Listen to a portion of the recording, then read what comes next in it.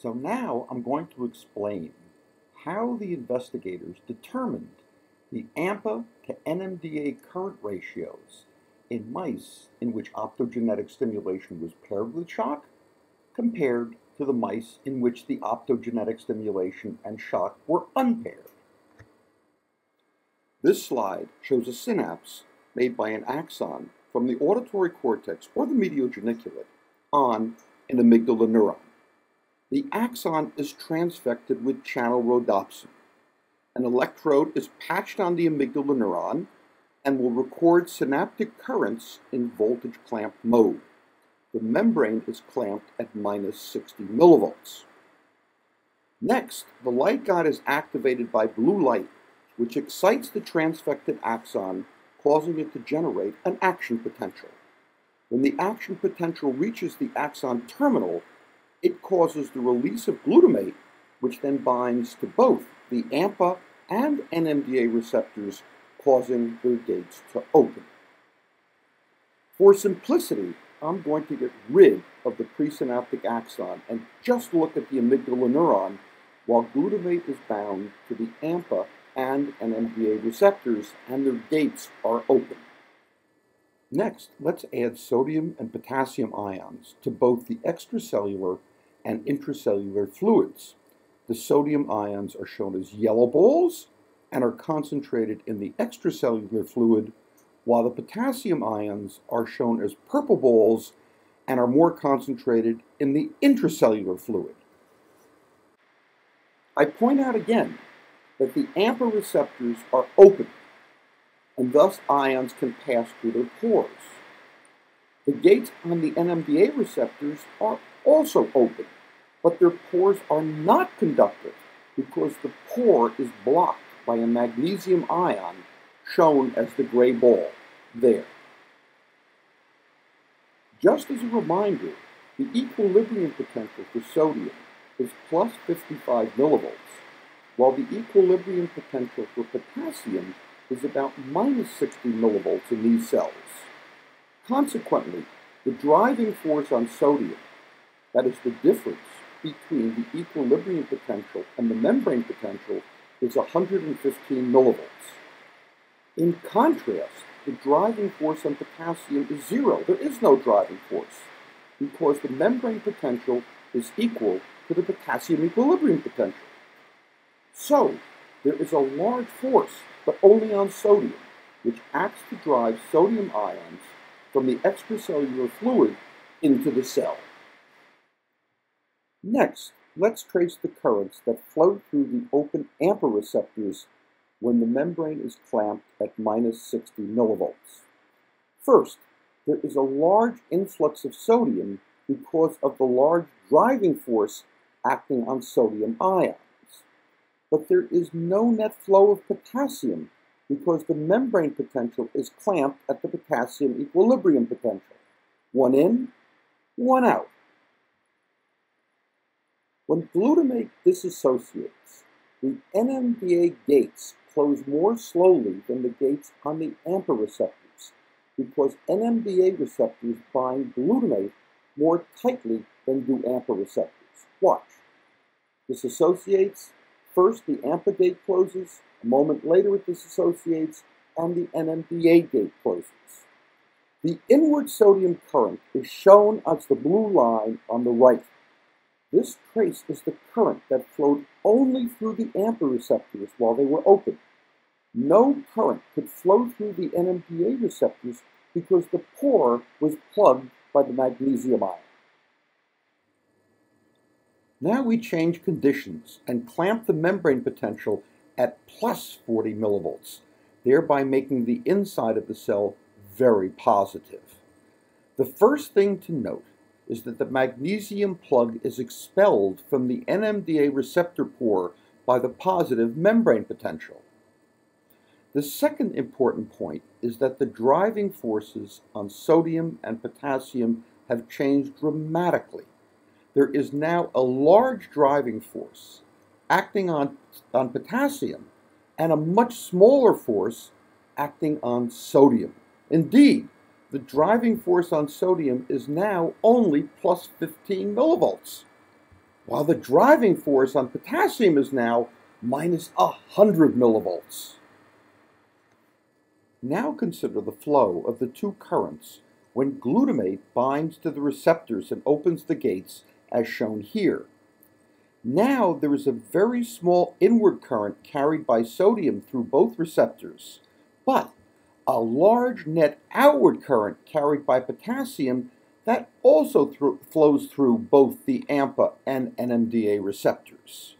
Remember that the NMDA gates close more slowly than AMPA receptor gates because the NMDA receptors bind glutamate more tightly than do the AMPA receptors. What that means is that the NMDA current continues even after the AMPA receptors have closed and no current is flowing through the AMPA receptors. The net outward current when the membrane is clamped at plus 40 millivolts is plotted as the red line. So let's expand the current records and evaluate how the investigators determined the ratio of AMPA to NMDA currents. The blue current, as bracketed by the two orange lines, shows the AMPA current when the membrane was clamped at minus 60 millivolts. Since the NMDA receptor is plugged by a magnesium ion, as shown in the synapse, the record is only of the AMPA current and shows both the maximum current through the AMPA receptors and the duration of that current, since the current only flowed while the AMPA gates were open. The current amplitude is shown by the orange double-headed arrow. Next, the membrane potential is clamped at plus 40 millivolts, which causes the magnesium plug to be expelled from the pore of the NMDA receptor. The portion of the current record that represents the time when current was flowing through both AMPA and NMDA receptors is bracketed by the green lines. Following that period, the AMPA receptors close, but the NMDA receptors are still open, and during that period, a smaller amount of current flows, but only through the NMDA receptors. That period is indicated by the green double arrow labeled NMDA only. The peak or maximal NMDA only current is shown as the vertical green arrow. The AMPA to NMDA ratio that was shown for the unpaired condition in the paper titled Engineering and Memory with LTP and LTD is reproduced in the upper left portion here. That ratio is about 2. If we compare the peak AMPA current with the peak NMDA only current, it can be seen that the AMPA current is twice as large as the NMDA current. That is how the investigator arrived at the AMPA to NMDA ratio for the paired condition. Now let's consider the currents generated for the paired condition, where the shock and optogenetic stimulation were presented at the same time. In the paired condition, long-term potentiation was generated at the synapse, which added additional AMPA receptors, those.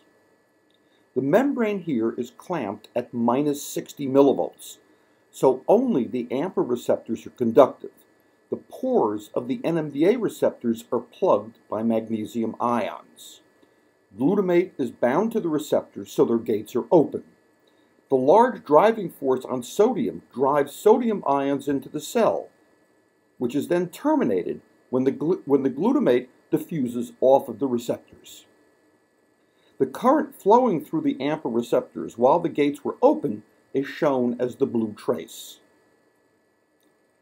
Now the membrane is clamped at plus 40 millivolts, which causes the magnesium ion to be expelled from the pore of the NMDA receptors. Glutamate is bound on the gates, so all the receptors are open.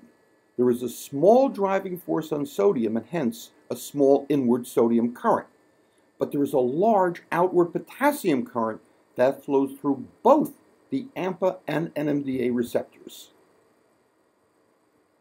Next, glutamate first diffuses off of the AMPA receptors, which close, but the NMDA receptors are still open and continue to conduct a smaller outward potassium current until the transmitter diffuses off of the NMDA receptors. Watch. Diffuse off the AMPA, they close, but the NMDA is still open, then they close. The outward current evoked when the membrane is clamped at plus 40 millivolts is shown as the red trace. Finally, we consider the AMPA to NMDA ratio for the paired condition in the same way we did for the unpaired condition. First, let's expand the record with, so we can see it in greater detail. The AMPA-generated current when the membrane was clamped at minus 60 millivolts is bracketed by the orange lines. The AMPA and NMDA current generated when the membrane was clamped at plus 40 millivolts is bracketed by the green lines. And the NMDA current that flowed after the AMPA channels were closed is shown by the double-headed green arrow labeled NMDA only. The orange arrow shows the maximum AMPA current, while the vertical green arrow shows the maximum NMDA current. Now transposed first the AMPA orange arrow and then the green NMDA arrow. The amplitude of the AMPA current is more than four times as large as the AMP as the NMDA current. The reason is that the NMDA currents were about the same in the unpaired and paired conditions because no additional NMDA receptors were added to the synapse by long-term potentiation. In contrast, AMPA receptors were added, thereby substantially increasing the AMPA current in the paired condition over that evoked in the unpaired condition. This is why the AMPA to NMDA ratio increased in the paired condition, and this is how the investigators measured those ratios. So the conclusions to the study are that the unpaired shock and optogenetic stimulation yields an AMPA to NMDA ratio of about 2, whereas the paired shock and optogenetic stimulation yields an AMPA to NMDA ratio of about 4 or even larger, due to the generation of LTP and the addition of AMPA receptors at the synapse.